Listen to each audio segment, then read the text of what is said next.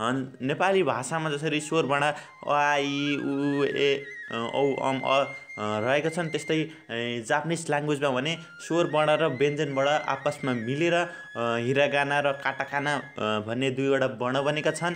आउनुहोस् सुरु गरौँ भिडियो। जस्तै यहाँ नेपालीमा आ आलाई चाहिँ जापानिज ल्याङ्ग्वेजमा चाहिँ यस्तो भन्छ यो चाहिँ कसरी लेख्ने भनेर म तपाईँहरूलाई पहिला चाहिँ मैले भिडियो बनाएको थिएँ।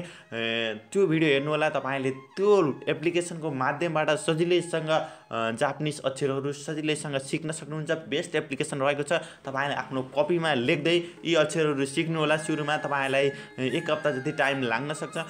पर्फेक्ट भएर मात्र अघि बढ्नुपर्ने हुन्छ। त्यही भएर तपाईँले अहिले नै त्यो भिडियो हेर्नुहोस् र त्यो एप्लिकेसन डाउनलोड गरेर तपाईँले त्यो एप्लिकेसनको माध्यमबाट जापानिज अक्षर सिक्नुहोस्। जस्तै यहाँ आलाई चाहिँ यसरी लेख्ने रहेछ। जापानिज भाषामा आ तपाईँ इलाई चाहिँ यसरी लेख्ने रहेछ। तपाईँले आफै हेरेर पनि लेख्न सक्नुहुन्छ। जस्तै उलाई चाहिँ यसरी लेखिने रहेछ। तपाईँ यहाँ देख्न सक्नुहुन्छ। त्यस्तै एलाई चाहिँ यहाँ हामीले कोरियन भाषामा ज माथि चाहिँ एउटा कोरियन भाषामा छ लेखे चाहिँ रहेछ। ए चाहिँ त्यस्तै ओ चाहिँ यसरी लेखिने रहेछ। फाइभ फाइभ लेखेर माथिबाट एउटा रेप दिने भयो भने ओ हुने रहेछ। त्यस्तै यहाँ के भयो त? आ इ उ ए ओ। यता आ इ उ ए ओ यसलाई चाहिँ आ भनेर प्रोनाउन्सिएसन गरिन्छ। त्यस्तै यसलाई चाहिँ यसलाई चाहिँ इ भनेर प्रोनाउन्सिएसन गरिने रहेछ। त्यस्तै यसलाई चाहिँ उ भनेर प्रोनाउन्सिएसन गरिन्छ। त्यस्तै यसलाई चाहिँ ए भनेर प्रोनाउन्सिएसन गरिन्छ। त्यस्तै यसलाई हामीले ओ भनेर प्रोनाउन्सिएसन त्यस्तै काकी कुकेको दोस्रोमा रहेको छ काकी कुकेको जस्तै नेपालीमा पनि हामीले क काकी कि कुकु के कै कौ कम क भनेर पढ्थ्यौँ। त्यस्तै यहाँ चाहिँ जापानिज भाषामा चाहिँ काकी कुकेको मात्र हुने रहेछ र कसरी लेख्ने रहेछ तपाईँले यहाँ अक्षरलाई ख्याल गर्नु होला यहाँ अक्षरलाई कालाई कसरी लेखिन्छ किलाई कसरी लेखिन्छ यो चाहिँ विस्तृत रूपमा तपाईँले ख्याल गर्नु होला आफ्नो कपीमा नोट गर्नु होला कुलाई चाहिँ यस्तो एरो दिने रहेछ? जुन ग्रेटर देनको एरो त्यस्तै के केलाई हामीले यहाँ कसरी लेखिन्छ? कोलाई कसरी लेखिन्छ? यहाँ तपाईँले यहाँ देख्न सक्नुहुन्छ। त्यस्तै अर्कोमा रहेको छ गा गि गु गे गो रहेको छ। त्यस्तै त्यस्तै अर्कोमा रहेको छ सा सि सु से सो। त्यस्तै जा। जा जी जु जे यसलाई चाहिँ जो भनिन्छ त्यस्तै। अर्कोमा रहेको छ टा ची चु चे टो। यहाँ चाहिँ टापछि टी होइन। टापछि के त ची नै हो। टा ची चु टेटो तपाईँले यहाँ चाहिँ प्रोनाउन्सिएसन ख्याल गर्नुपर्ने हुन्छ। मैले चाहिँ यो प्याट पार्ट वान बनाएको थिएँ। यी अक्षरहरू कसरी सिक्ने भनेर तपाईँले त्यो भिडियो पहिला हेर्नु होला त्यसपछि बल्ल तपाईँलाई हेल्पफुल हुनेछ। त्यसलाई चाहिँ के भन्छ भनेर म मात्र आजको भिडियोमा जानकारी गराउनका लागि मात्र तपाईँहरूमा चाहिँ उपस्थित भएको छु। र त्यस्तै यहाँ दोस्रोमा रहेको छ दा जी जु दे दो। जस्तै यहाँ दा पछि दि होइन। दा पछि जी नै हो। यसलाई चाहिँ जी प्रोनाउन्स प्रोनाउन्सिएसन गरिन्छ दा जी जु जे जे नभएर दे दो। त्यस्तै। अर्को रहेको छ ना नि नु ने नो। त्यस्तै हा हि फु हे हो। यहाँ चाहिँ यसलाई चाहिँ हा हि हु भनिन्न।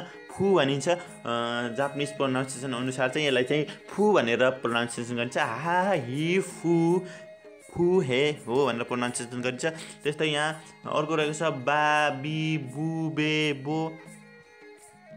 त्यस्तै अर्को हेर्न सकिन्छ हामीले।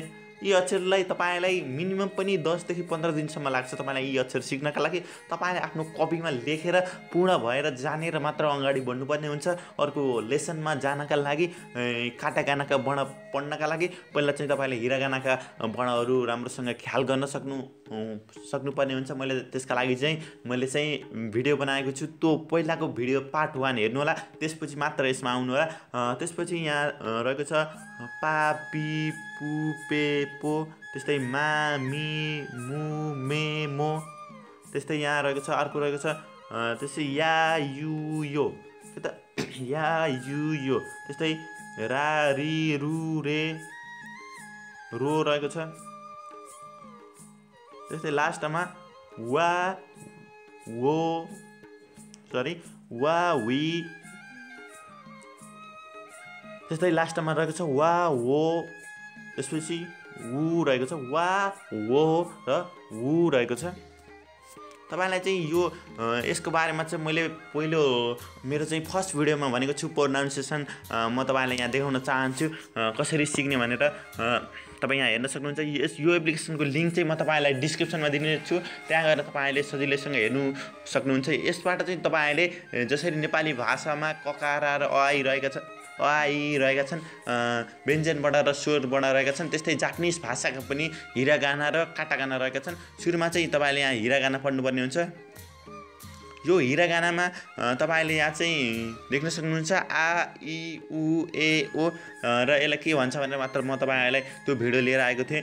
मैले आफ्नो कपीमा लेखेर जस्तै यहाँ आ लेख्न सिकाएको छ तपाईँले यहाँ गएर यहाँ पनि लेख्ने अनि आफूले कापीमा पनि लेखेर तपाईँले यहाँ सिक्नु होला यो यो एउटा यहाँ सानो बलले तपाईँलाई इन्डिकेट गरेर तपाईँलाई यहाँ लेख्न सिकाएको छ। त्यस्तै यहाँ त तल तपाईँले कम्पेयरमा गएर तपाईँले लेखेको मिल्यो कि नै भनेर तपाईँले हेर्न सक्नुहुन्छ। आ चाहिँ नेपाली क जस्तै रहेछ लगभग।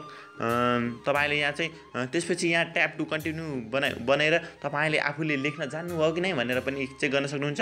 पहिला चाहिँ त्यहाँ त्यसले तेर्सो धर्को काटेको थियो त्यसपछि यहाँ ठाडो धर्को काटेको थियो त्यसपछि यहाँबाट लगेर यस्तो बनाएको थियो। र जस्तै यहाँ मेरो मिल्यो कि नै भनेर मैले यहाँ कम्पेयर गर्न सक्छु यहाँ कम्पेयरमा गएर लगभग चाहिँ यहाँ मेरो मिल मिल्यो। तर यहाँ चाहिँ यताको जुन हुन्छ त्यो चाहिँ यो यहाँ यो चाहिँ खासमा यस्तो हुनुपर्ने रहेछ।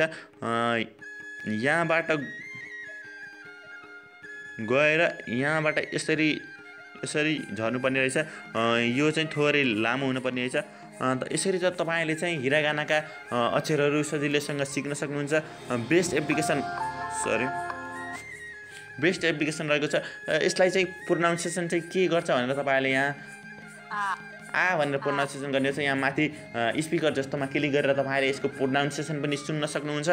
तपाईँलाई चाहिँ यो भिडियो कस्तो लाग्यो नबुझेको कुरा चाहिँ कमेन्टमा लेख्न सक्नुहुन्छ र जापानिज भाषाको अर्को पार्ट लिएर आउनका लागि हाम्रो च्यानललाई सब्सक्राइब गर्नुहोला यो भिडियोलाई चाहिँ लाइक गर्नुहोला। Thanks for watching